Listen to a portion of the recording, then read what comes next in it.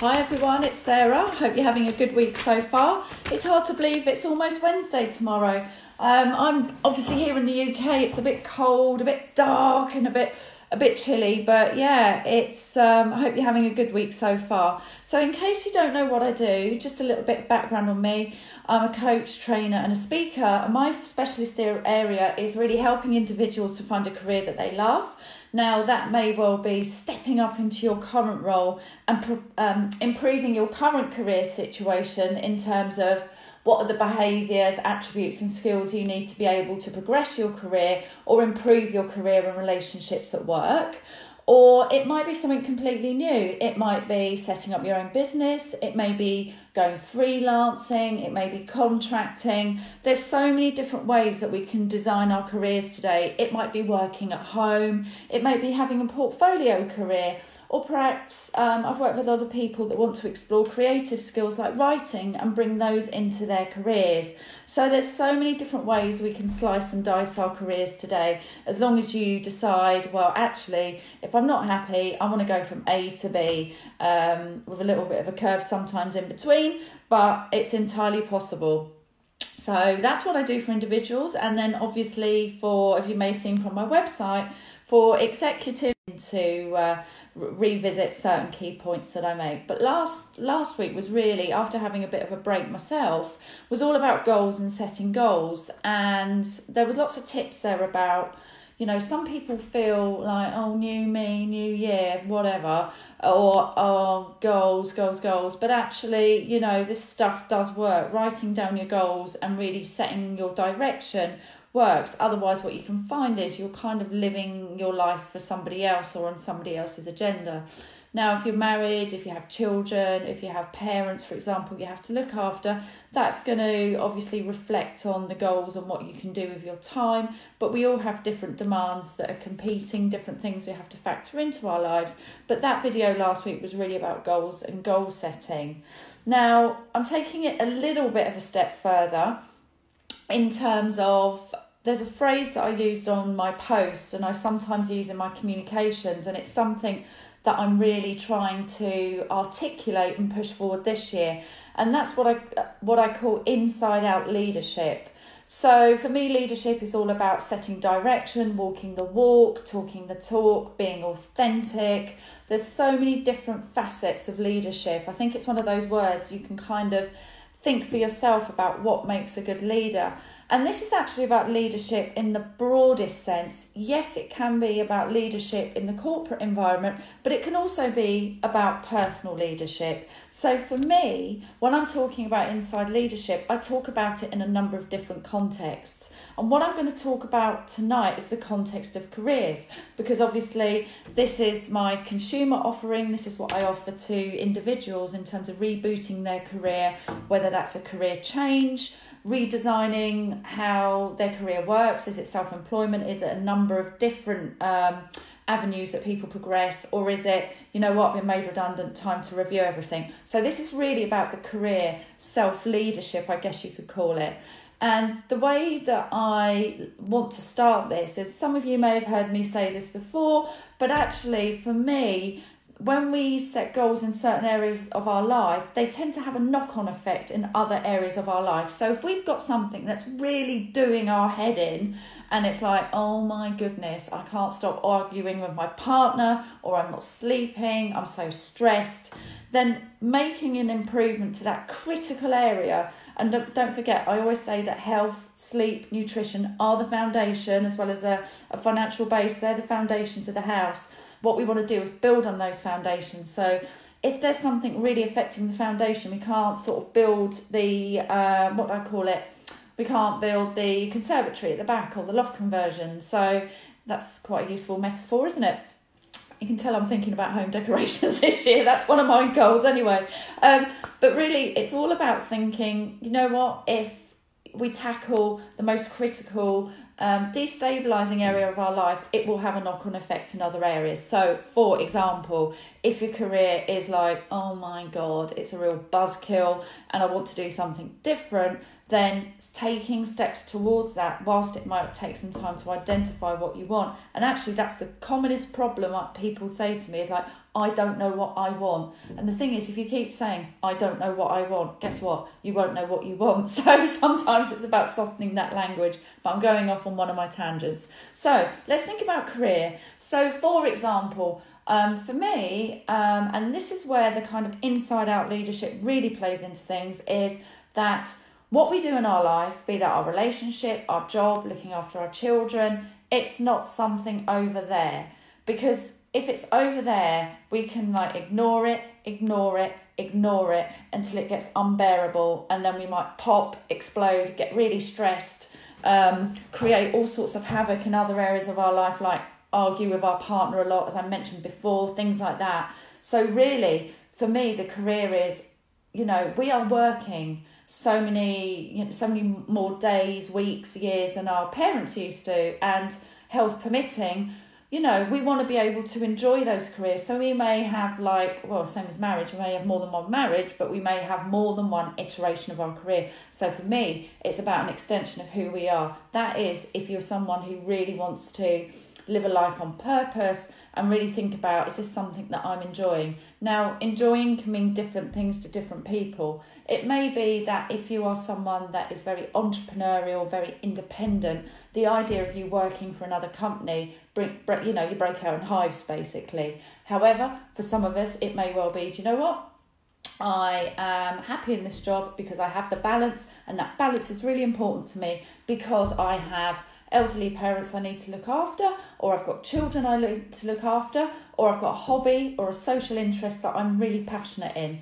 It could be, you know, I really want to work for this I don't know, not for profit organisation because it's something I feel really passionate about. So we all have different values that are important to our career. And actually, I'm going to write that down and do a post or a video on career values and why they're important to us, about what we really treasure in our career. And that can change, by the way, as our life changes. So our career, I feel, is not something over there it's like our problems they're not outside of there it's not like yeah that's somebody else that's nothing to do with me very often we can be the cause of our own career discomfort, some of our own problems. So let's think about, you know, when we are moaning about our jobs a lot, very often it's like, you know what, that person really does my head in, or my boss is really doing my head in. And what we're doing there is like we're taking that magnifying glass and shining it on a bit of paper to the paper like sets on fire or something. And really what we want to do is turn the view around and go, hang on a minute, let's look at myself in the mirror because if I don't change, then nothing else is going to change. And that is just absolutely true because we need to be able to. Um,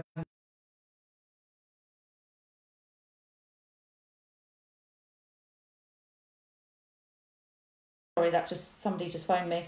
Um, I hope it wasn't uh, Brad Pitt. He's getting a bit annoying these days, actually. But anyway, we need to really look at not shining the light on other people. Yes, there may be people in our life that frankly do our head in, and we may need to question can I really deal with this person? That is still a decision, that's still a self directed decision.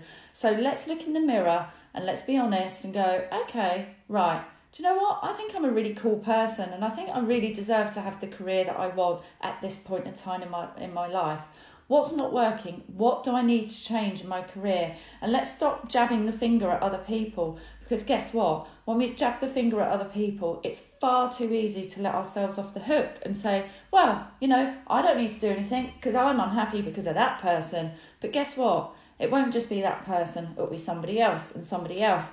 And you'll find that your results won't change in your life because you're not thinking about what's important to you and maybe what you need to evolve in your own life. So, what I'm saying with inside out leadership is that sometimes when you look at your external environment, your external career, and I'm not saying all the time, I'm not saying that if you're in a bullying, stressful situation, that is all your fault.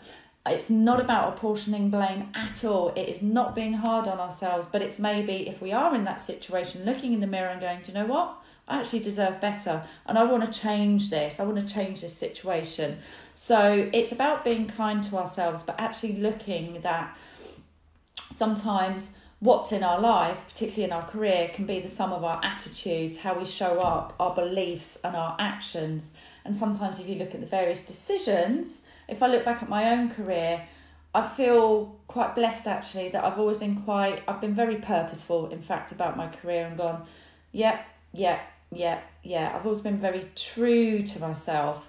And I can see that there's a direct um, correlation between other things I want in my life and how I've recalibrated and rebooted my career. So, for example, many years ago, I took the decision to go freelance because I wanted to have a bit more flexibility and work life balance. The idea of being status driven, traveling the world, that was no longer important to me. So we changed. So it's it's very good to be able to look back and go, oh, what led to that decision, and why am I feeling a bit of discomfort now? What's the next decision that I perhaps need to make? And we are the sum of our attitudes, our beliefs, and our actions. So, for example, if you tell yourself, um, do you know what? Bit too old to change jobs. I'm never going to get another job. Uh, I don't think I'm very smart. Well, at, what happens is that our thoughts translate into our feelings and they translate into our behaviours. And I don't know if you know, but scientists are finding that we have thinking cells, thinking cells, not just in our brain, but in our heart and in every cell in our body. So basically, you're like dousing yourself with lots of negative energy, and that really comes across. I don't know if you've ever met someone who's like, uh, very negative, very down. Don't get me wrong, we all have our off days, but someone that's consistently you know what I call a sink. You know, it's like oh my goodness, you feel like you've trod into like quicksand or something. So if that's what you believe about yourself, that's how you're going to come across to other people, and it's just again somewhat a bit of an excuse to not take action and to deny yourself this this concept of inside out leadership of leading with the front foot and really looking at yourself in the mirror about what you want rather than pointing fingers at others now not everyone's on the same page. Um, we're all, um, I hate to use the J word, but I'm going to do it. Uh, we're on the same, we're all on a different journey. Um, some of us aren't quite as self aware. Some of us may have had something in our life that's happened to us, um, I don't know, divorce, redundancy, that's really sharpened our focus and thought, hang on, I need to change what I'm doing.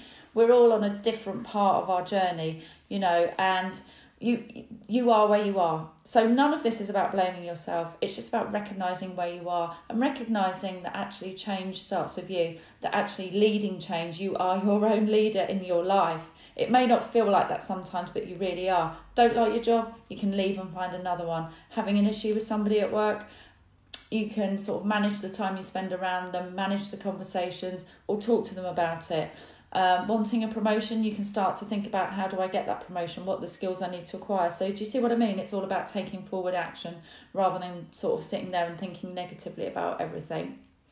So, this is really about believing in yourself and being true to yourself and thinking, well, if I'm a little bit dis uncomfortable, discomfortable, that's not a word, uncomfortable in my career, how am I going to feel in a year's time if I'm still here in the same situation? So really fast forward and look back on, on yourself now and think, oh, you know, how am I going to feel? Be true to yourself, but be kind to yourself as well. And don't let other people drag you down. Um, imagine yourself to be kind of like a lighthouse and your light can shine on other people. Um, other people, as I said just just a moment ago, are on a different path, a different journey. Some people are just not ever going to be aware of how their um, negative attitudes and beliefs will hold them back from leading their own life, from being their own leader from the inside out. They're on their own journey, but don't let them stop yours and don't let them drag you down. There are many people who I was coaching somebody this week, and he said, Well, you know, I had this thing with my job, and I've made a decision about finding a new role, and a close relative said to me, What? You're going to get another job? And it really sort of resonated to what he was told as a child. And that may well have been said with somebody's own limited perception of what it takes to get a job these days but try and protect yourself from other people's negative energy. Don't let them stop your energy, block your energy, or take it away. It's only taken away if you allow it to be taken away. So just kind of stand still, calm, and don't buy into what other people may be saying that could be a bit on the negative side. So, Science is proving all of what I'm talking about now and has been for a very, very, very long time. And a lot of the techniques I talk about, they actually rewire our brains. So if you start thinking in this mindset of, I'm going to have an open mindset, I'm going to be flexible, I'm going to really start to explore the different options that I've got because we've never had so many opportunities to lead our career from the foot forward. I know it's very difficult. I know there's always like sort of ups and downs in politics, but I mean, if you look at other countries in the world, we are so lucky, particularly if we're in Europe, the US, in certain developed countries, we are so lucky to have the opportunities that we have now and that our parents and grandparents didn't have. So, what a shame to waste all the hard work that other people have put in um, and deny ourselves those opportunities to lead ourselves rather than waiting other people waiting for other people to lead our lives.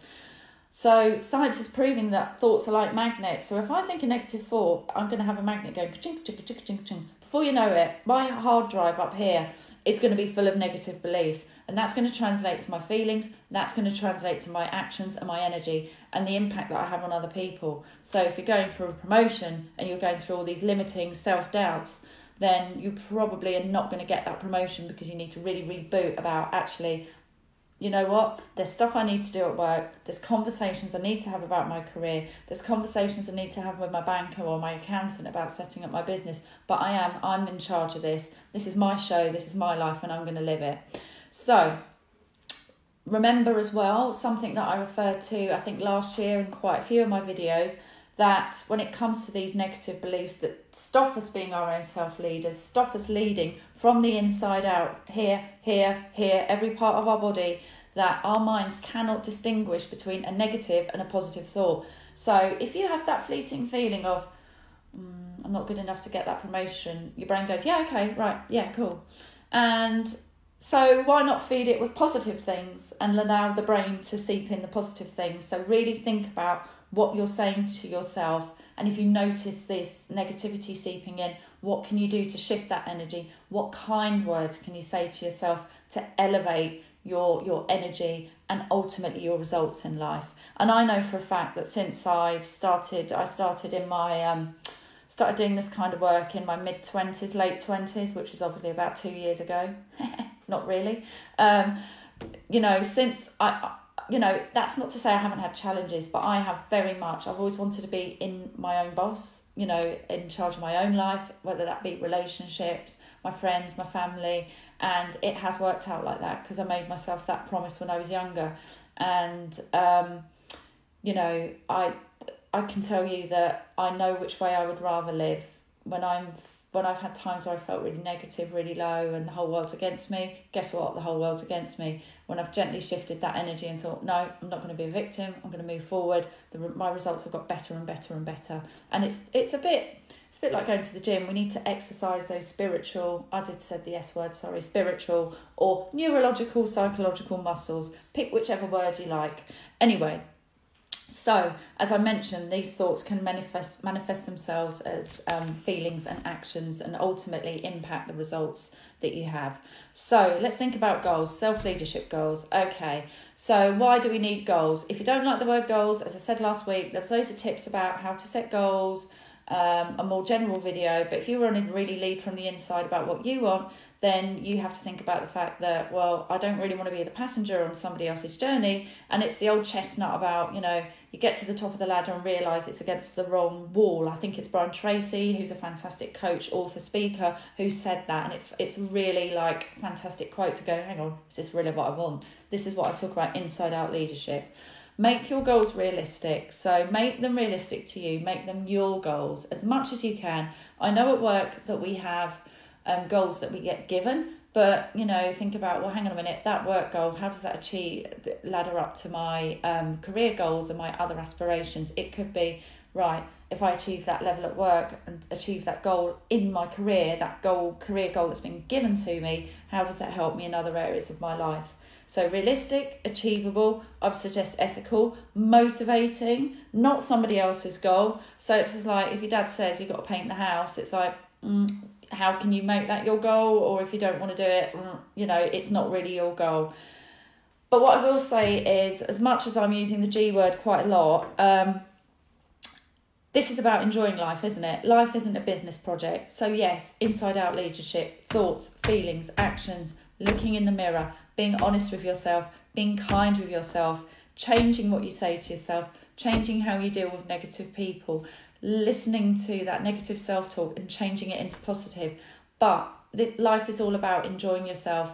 And you know what I'd hate is for anyone to be stressed, running around, setting goals left, right, and centre. Because believe you me, I've coached many people that have way, way, way too many goals. And guess what? You know, it stops. It can stop us enjoying life. So make sure those goals are realistic, and you're still able to have some downtime and relax, and and just do nothing. Sometimes there's nothing wrong with that. Uh, in fact, that might even be a goal. you know, if you can turn it into the positive, as in, you know, give myself more time to relax, and hey, why not? So there's no point doing all this if you're going to be even more stressed and running around, unless you can deal with that stress. Um, so yeah, as I said, they are um, make sure they're achievable, motivating, self-directed, yours, not somebody else's goals, and they're things what you enjoy. And I suggest writing them down because psychologically, when you write things down, it accesses a different part of your brain, which is all to do with motivation and the achievement of goals. So there you go. That makes total sense. You can do it on your iPhone, but I quite like writing things in a little journal. I have a little book that I carry around with me, a little notebook. And I guess, as I mentioned before, think about your life in this uh, complex phrase that I'm about to use. Which bit of your life sucks the most? Maybe start with that bit because if you start with the bit that sucks the most, you may find that just by taking baby steps, you're able to make incremental gains that will have a knock on effect in other areas of your life. And really think about how much do I want this change from one being like, mm, not really, I'm just saying it so it looks good, to 10, like I really want it. Score those different goals, but which one, you know, just pick one area to start with and just give yourself the confidence that you can do this stuff. You can really feel that shift in energy, your results, your own self leadership. And yeah, just pick which bit sucks the most. Um, so, another thing as well that I've just noticed just through coaching a few people recently, and I've caught myself saying it, is saying, Oh, I haven't got the time. So, let's change that word about I don't have time because we all have time. Unfortunately, time is finite. We can't get back, you know, what we did even a few seconds ago. Time is the present. That's all we know. And I would say shift that wording. Make time. I want to make time for this and just see if that feels better. As in, oh, I want to do that. I'm quite busy, but I I want to make time. Not just say, oh, I should really have the time to do that. You know, really sort of think about, I'm going to say, make time. I'm going to make time to spend an hour studying this online course or whatever it is you want to do. The other thing that I found really useful is sometimes when we're saying, oh, I haven't got time, um, and we want to move that making time, if you add up the number of hours there are in a week and sort of write down the different areas like sleeping, getting ready, eating, shopping, doing emails, working, commuting, seeing friends. Have a look at, you know, if you calculate how many hours there are in a seven day week and then bucket out how many hours you're spending in each of those areas. Now, I've had times where I've been like a goal achieving machine and I've just been going and I thought, hang on a minute, this is too much. So I've actually sat down and done this exercise and I thought, you know what? I have got enough time so, where am I wasting this time? I need to stop watching repeats of Gordon Ramsay's Kitchen Nightmares on Channel 4, you know, because that's where my time's going. So, um, which I have done in the past, I will confess. So, make a tally of the times and, and think about that phrase I'm going to make time, I'm going to make time, rather than have time, don't have time. Um, so, what else have I got here? I've made a few notes. Yes, are there goals that overlap? I've talked about this before knock on effect. Right, so if you want to have a more, if you want to start up a new business, I want to start up a new business, but you know what, I really like writing. Is there a way that you combine that? So you practice your writing through starting a new business in blogs or freelance writing, um, or do you know what, I really, um, I really need to go out networking to find my next job or uh, kick kickstart my business. Um, yeah, I need to get better at social media as well. So you can do offline networking, but you can do, online working. So there you get to practice those social media skills you might want to on LinkedIn, but also you are networking with people in the social environment. Um, so like on social networks, and those can lead to offline uh, relationships as well. Um, break things down into tangible steps. I think I've said that many times before. And you know, if you get to a point where you're struggling and you're like, oh my God, there's just so much going on, then pull out your kind of dream list, your bucket list, your goal list, whatever you want to do, and really check in with yourself and go, hang on a minute, is that still a priority? Are they still as important as they were? Do I need to rejig things? Are there two areas that have an interdependency that I can work on? If I work on one, it's going to have a knock on effect. And, um, yeah, it's all about kind of holding ourselves accountable, and that's the beauty of coaching. Is that, and that's not to be punitive, but the beauty of coaching is that you do have someone who's like your cheerleader from the sidelines, somebody that will reflect back. So I was having a conversation with somebody the other night, and he's going through um, some redundancy at the moment, and he's kind of on gardening leave. Now he has had a career ambition that I've known about for a long time, and I said, "Well, what are you doing at the moment? Nothing." well, why don't you start this course now? And it's like, oh God, yeah. You know, sometimes we can't see the wood for the trees because we're too close to what's in front of us. So, yeah, just stay in control with it. Reaffirm those lists, you know, reaffirm the priorities.